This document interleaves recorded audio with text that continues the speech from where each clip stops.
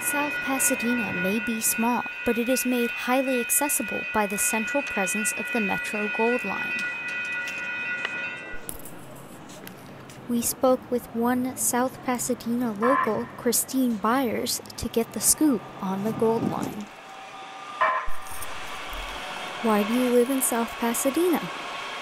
Well, we moved here specifically so I can walk across the street to the metro station and take the metro to Culver City where I have been working for 17 years.